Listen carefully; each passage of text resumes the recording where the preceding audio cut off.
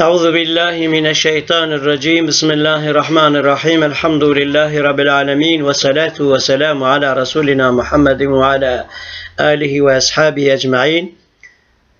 Faslun bu bir bölümdür ne hakkında? İhramlıya haram olan şeyler hakkında. İhramlıya haram olan şeylerin hükmü hakkında. Ve yahrumu haram olur ala üzerine muhrimi ihramlının aşerete on eşya şeyler. Lübsu giymesi mehiti dikişli. Ve tahtiyetu örtmek re'si başını. Miner reculi erkeklerden. Vel vecihi yüzünün kapatması minel mer'eti kadından. Ve tercilu salı vermek şa'ri saçını ve halkuhu onu tıraş olması ve taklimu kesmesi esfari tırnaklarını. Ve kokulanmak ve katlu öldürmek seydi avı.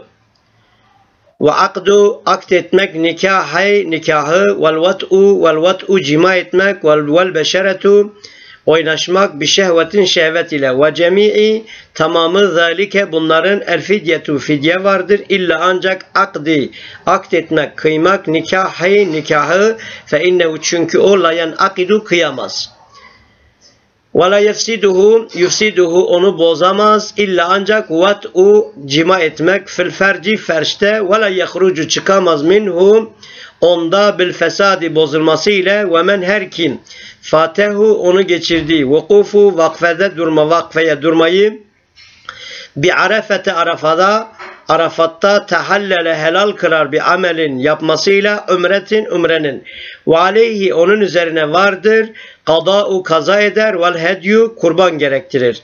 Ve men her kim tereke terk etti rüknen bir rükünü lem yahille helal olmaz. Min ihramihi onun ihramından hatta ta ki yetiye yetiye getirir. Bihi onu ve men her kim tereke terk etti. Vaciben bir vacibi.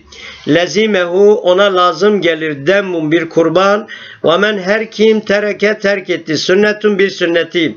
Lem yelzemhu ona lazım gelmez. Bir terkiha onu terk etmek ile şeyun bir şey. Hiçbir şey. Ve sallallahu ala seyyidina Muhammedin nebiyyil ummiyi وعلى آله وأصحابه أجمعين وآخر دعوانا أن الحمد لله رب العالمين. السلام عليكم ورحمة الله وبركاته.